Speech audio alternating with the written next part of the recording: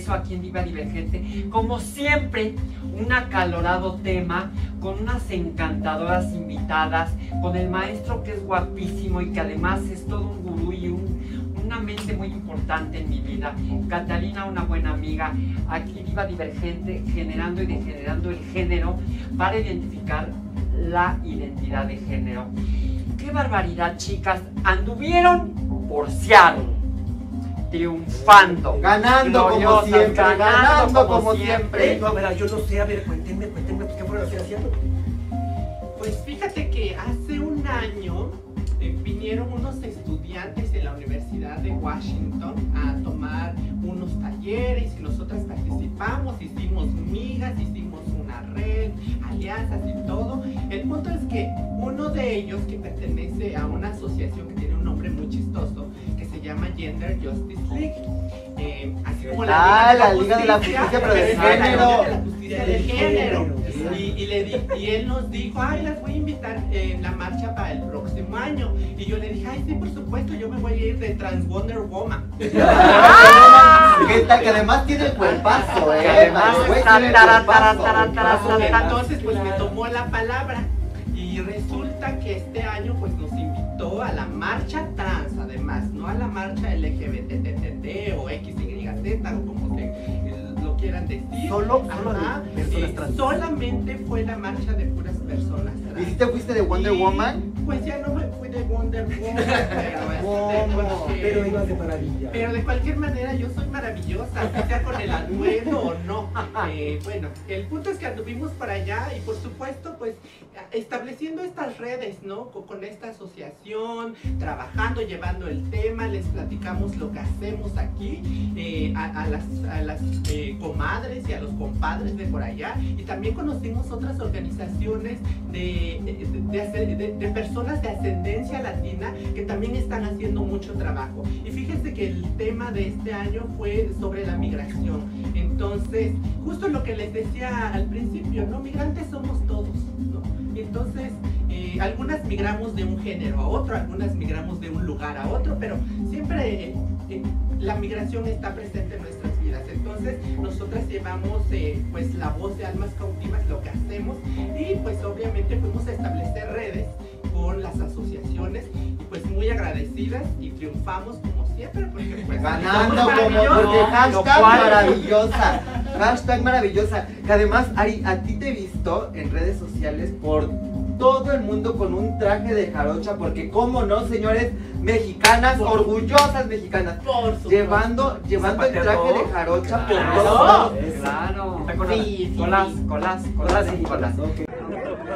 Hola. Hola. Hola. Somos Almas Cautivas. Hola. Estamos en la marcha de Seattle, del Trans Pride Seattle. Eh, muy contentas por participar aquí, ser invitadas, con unas personalidades nos estamos acompañando muy importantes. Janice, Janice, say hello.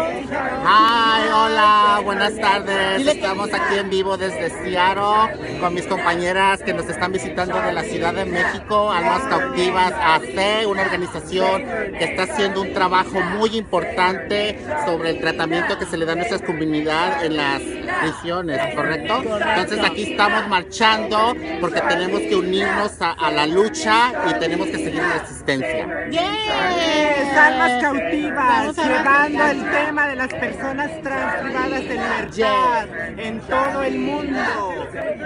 Ahora, now, les vamos a presentar a Dani. Dani. Dani. Please say something. Say something. Hey, I'm Dani. Yeah. Dani is the uh, director of director Gender Justice League. Gracias a ella estamos aquí en la ciudad de Seattle. Gracias a su Thank you. Thank you so much. Thank you. Thank you. Ahora les vamos a presentar. Hola. Ella representa a la comunidad translatina con Bambi Salcedo y con quién más está. También estoy con el grupo de Flux aquí en, en, los Estados Unidos y colaborando también con toda nuestra comunidad latina, así que... Un saludo a México. Fíjate que, fíjate que ustedes mencionaban hace un momento en su programa y hablaban de las mushes y esta idea de yo eh, viajar a los lugares que he ido con mi traje de jarocha, precisamente lo tomé de las mushes creo que es muy significativo llevar la cultura, eh, sentirte orgullosa de tus raíces, sentirte orgullosa, yo, soy veracruzana, soy, soy de, de- del puerto de Veracruz, y bueno, me encanta a mí lucir ese traje que aparte fue hecho por mi madre, eh, Wow. con sus manos, y para mí es muy significativo que una madre pues le haga un traje Te llevas a tu mamá en cada viaje. Así es. Pero aparte, un traje que, eh, respetando, para mí el mensaje es reconocer a su hija. Ese, ese es el Bravo, mensaje, claro. ese es el mensaje de, de ese traje, ¿no? Y me da mucha risa que lo- a los lugares que voy a veces la gente me aplaude. ¿no? Bravo, bravo.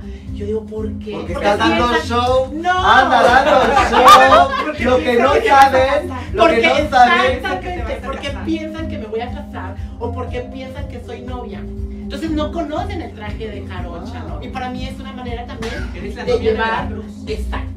Soy la, La novia de la novia de Veracruz. Veracruz. La novia Mis Veracruz, Guerrero, mis Nuevo León. Mi Ciudad de México. Oye, maestro, un tema que, que, que realmente ya estamos en el último bloque, ampulador fuerte, arránquese de su ronco Pues pecho, vamos maestro. un poquito, lo que pasa es que bueno, estamos hablando mucho del poder que tenemos como comunidad y de unirnos y demás, pero ¿qué representamos para la otra comunidad, no? Para, para el resto que sí se dan cuenta del poder del DINC, ¿no? Que sí se dan cuenta de la gran comunidad que es. Y entonces como que se tratan de aprovechar un poquito de nosotros y resulta que viene la marcha y entonces ya todos ponen sus banderas y, y lo que quieren es utilizarlos, pero no solo eso, también los que se enarbolan delante de la marcha, ciertos cantantes, no voy a decir nombres, o ciertos artistas que además, bueno, me chocan que su discurso sea, ay, es que quiero tanto a mi maquillista y mi peinadora, o sea, no jodan, Yo ¿no? Somos toda una comunidad llena de profesiones, llena de sabores, llena de colores, para que salgan con esas cosas, para poder pues, agarrarse de algo para hacer renacer sus carreras. Que también. O, o- o no. No, totalmente, Mira, maestro. a mí- Y bueno, nosotros nos dejamos. Podemos dejarnos, pero si nos empoderamos y nos aprovechamos también nosotros de saber nuestro poder, ¿no? Como comunidad yo creo que ya tenemos que empezar a despertar. Yo creo que, pero, y, y ya decir, empezar a despertar, ya, ya, bueno, ya vamos tarde, mi amor. O sea, realmente, de verdad, ponernos los tacones, las faldas o lo que decidas ponerte para que de verdad, oye, yo valgo esto y no te vas a venir a agarrar de mí porque todo, ahora sí que gracias a, a que una salió en todos los periódicos, este, se pueden casar entre barbonas con el respeto.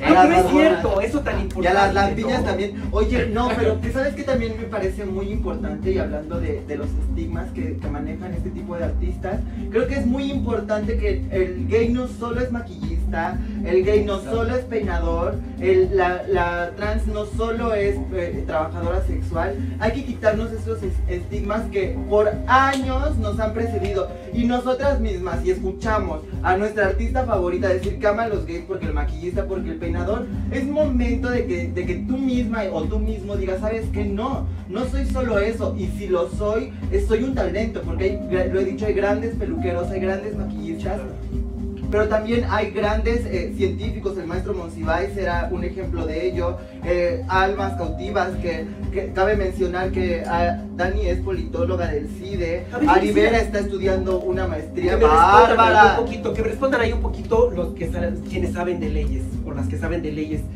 Porque de repente hay muchas profesiones y hay muchas ganas, pero la sociedad no te permite el trabajo, ¿no? Si eres trans o si eres gay o si eres distinto o nada más si tienes un tatuaje que no les gusta no dan trabajo, ahí la sociedad es la que tiene que respetar y abrirse y darle el trabajo al talentoso, no a la cara, ni al vestido, ni al pantalón. ¿no? Oye, me vas a dejar sin Pero las pero, pero, hija, pero las leyes, ¿Cómo?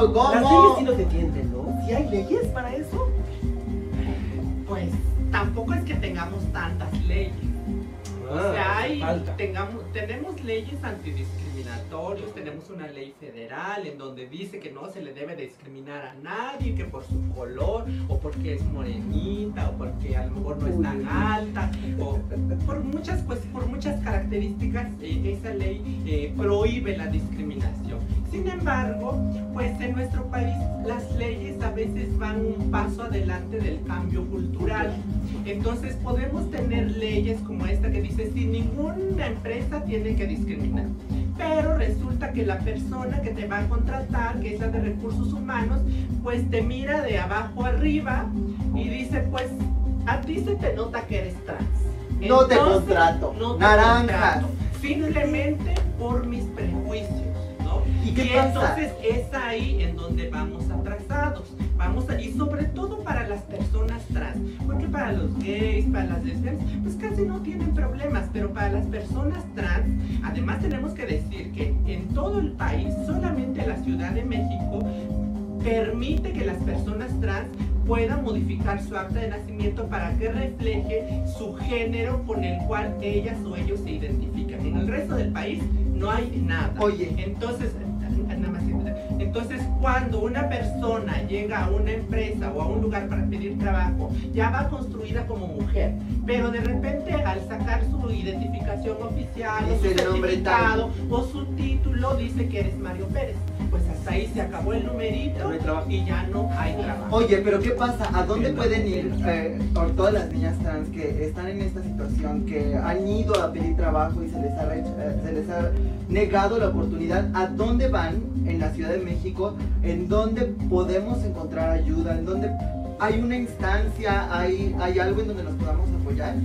Sí, claro, en la, en la Ciudad de México existe el Consejo para Prevenir y Eliminar la Discriminación de la Ciudad de México, que se llama COPRED, o la Comisión de Derechos Humanos de la Ciudad de México, Ok. eh, en el caso de la Ciudad ¿Y de México. fuera de la Ciudad de Y si México? fuera en la República tendrían que acercarse a CONAPRED, que es el Consejo Nacional para Prevenir y Eliminar la Discriminación, o a las comisiones de derechos humanos de cada estado. O sea, no hay pretexto, chavas. No hay pretexto. Hay que defendernos y hay que hacer valer las leyes de una manera u otra. Pero habría que cambiar las leyes en lugar de decir no puedes discriminar, obligar a que hubiera un porcentaje de, indígenas, un porcentaje de trans, un porcentaje de lesbianas, o sea, Sí, una, Mira, esa- esas, esas, esas políticas, eh, pues, en algo, desde la economía son mal vistas.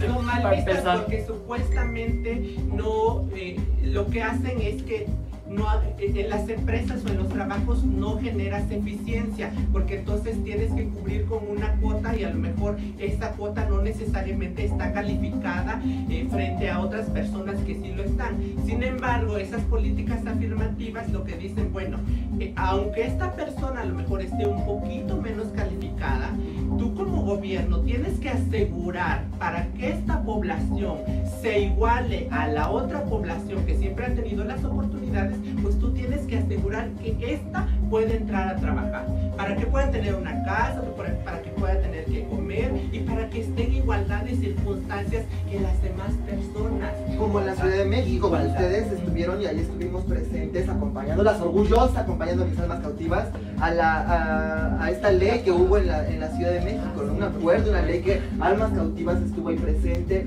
impulsando leyes, eh, trabajando con, con los diputados para buscar una oportunidad mejor a toda la comunidad trans. Yo las admiro, Ay, niñas, vamos, yo las ojalá que admiro. Lamentablemente. ahora sí nos vamos a quedar cortísimos. Nos vamos a quedar cortísimos, en verdad. Ahora sí que, de veras, el, el peor enemigo de este programa es el tiempo. Pero ya les dije, siempre- nos quedamos a la mitad. El tiempo nos. Pero yo creo que no nos quedamos a la mitad. Muchas gracias, Ari Vera. Gracias, Daniela, de verdad. gracias. Eh, gracias a, a- a mi divo Gustavo Sanders, a Zoe Catalina, mi diva divagada. Y bueno, señoras y señores que nos vieron desde sus dispositivos móviles, desde sus laptops, desde sus tablets, gracias el día de hoy, un tema acalorado que yo creo que nos va a dar para 3, 4, 5 emisiones, divagando aquí en la diva divergente, generando y degenerando el género para identificar la identidad de género. Muchísimas gracias, buenas noches y hasta la próxima.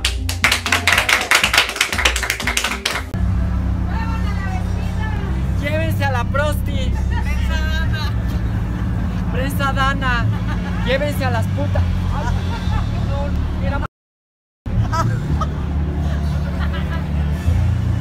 Se me fue. Se me fue. Todas cobran, una baila, una se prepara y estas cogen y les pagan. Córtale, gorda.